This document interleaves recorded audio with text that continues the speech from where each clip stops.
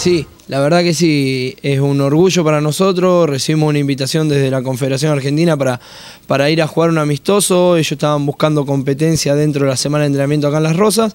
Y bueno, sin duda nosotros hablamos con los dirigentes, ellos estuvieron de acuerdo. El plantel de jugadores que va a participar también estuvo de acuerdo. Y es una motivación extra jugar contra un equipo de selección argentina, más allá de que sea sub-17.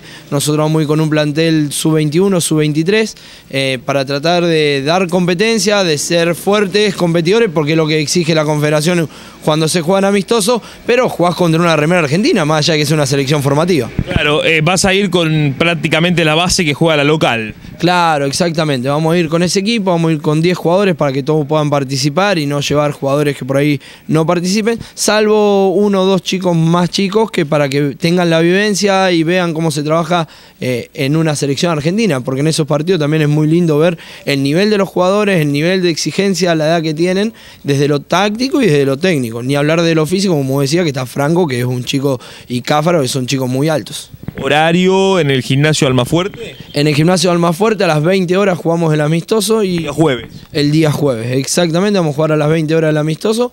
Así que bueno, están todos invitados, pero sobre todo es, para nosotros es un orgullo que nos invite la Confederación a ser parte de un proceso de selección argentina. Queda claro que los mayores no viajan por la cercanía con la definición federal, de lo que es Regatas Uruguay. Claro que sí, el sábado tenemos que jugar la, la el primer juego final con regatas, así que no van a viajar los mayores, se van a quedar entrenando acá parte de sesión de lanzamiento y yo me voy a ir con el, asistente y un PF a trabajar el partido amistoso a las 20 horas en Las Rosas.